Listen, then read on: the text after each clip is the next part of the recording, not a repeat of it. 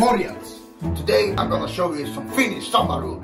The first thing you do before you go to the sauna, you put this on the highest level. And when this timer is out, it means the sauna is finished, not finished. Before you enter the sauna, you need to fill this up with water, water, water, water with water. And then you add this so it smells like your grandma's old socks. Now you're ready to go to the sauna.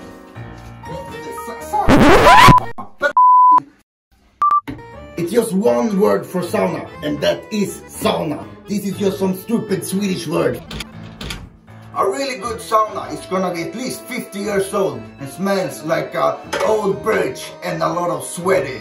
If you're a Finnish person, you must sit on the highest level, but all other nations is on the lowest floor. Before you put water on the stones, you ask everybody else if it's okay. It's not called steam when it's being hot on the stones of the water. It's called löyly, löyly, löyly, and nothing else. When you're in a sauna, you don't talk, you don't drink, you don't have sex. This is not vacation. The best type of sauna is when the temperature is up here somewhere. This is the emergency door for when you have Swedes in the sauna, but then the sauna is destroyed.